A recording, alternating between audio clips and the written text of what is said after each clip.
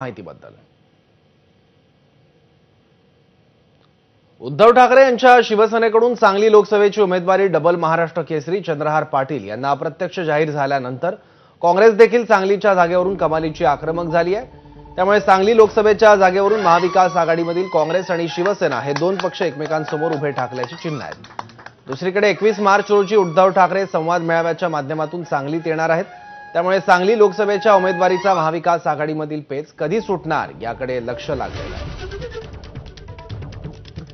याबद्दल अधिक जाणून घेऊयात आपले प्रतिनिधी कुलदीप माने यांच्याकडून. कुलदीप.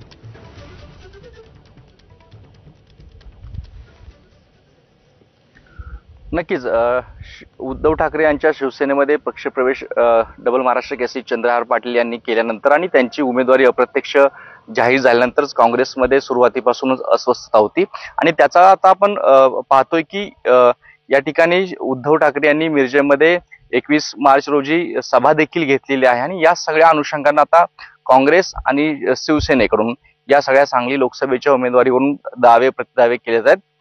ज्या पद्धतीनं संजय राऊत किंवा अन्य जे नेते आहेत त्यांनी ज्या पद्धतीनं काही वाक्य उद्गारले आहेत व या लोकसभेच्या उमेदवारी बाबतीतचे त्यावर काँग्रेस नेत्यांनी देखील आक्षेप घेतला आणि त्यामुळे आता काँग्रेस नेत्यांनी एकीकडं आक्रमक भूमिका घेतली असताना नाना पटोले असो विश्वजित कदम असो यांची जी आक्रमक वक्तव्य या सांगली लोकसभेच्या उमेदवारीमध्ये दिसून येतात ती काँग्रेसकडेच ही सीट राहणार असा जरी त्यांचा आग्रह असला तरी आत्ता सध्या तरी देखील चंद्रहार पाटील हे सध्या या सगळ्या संपूर्ण प्र- प्रचाराच्या दृष्टीनं तयारी करताना दिसून येत आहेत.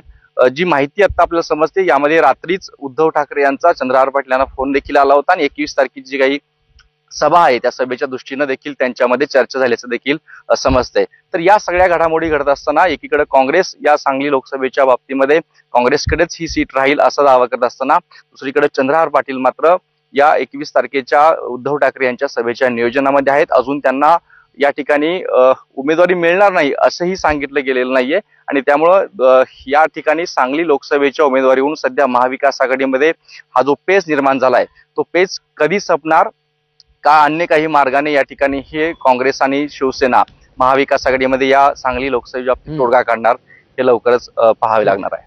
ठीक आहे. कुलदीप धन्यवाद.